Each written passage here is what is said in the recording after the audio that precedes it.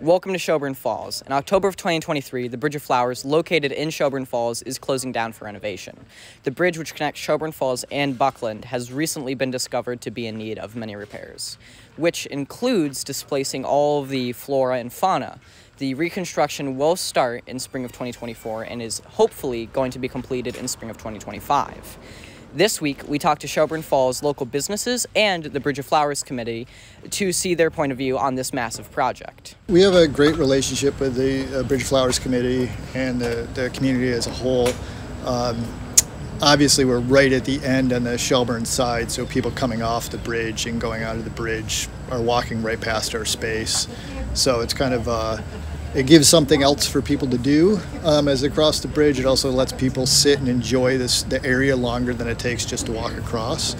Um, it's great for us because there's 60 some thousand people that cross the bridge every year, um, maybe more, and um, it's a great location. It's a great great relationship. Our committee, we're a committee, um, Bridge of Flowers committee, and we're volunteers.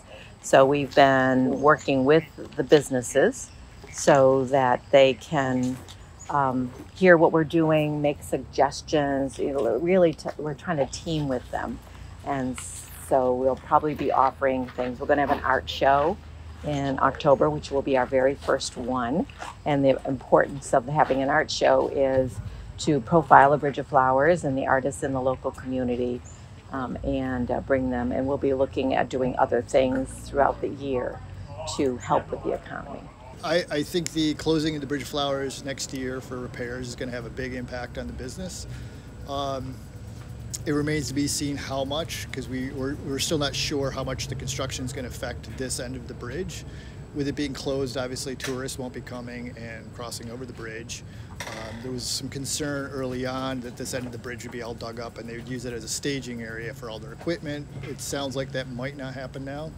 So we're going to have to just try to adapt and um, adjust to get people to come here that maybe would only come over here if the bridge was open. So some of the considerations that were uh, part of our decision to close was uh, based on an engineering study uh, that was done prior to the pandemic, so say 2019, 2018, and they discovered that there was a very large crack on the north side and a bulge of the um, structure on the north side.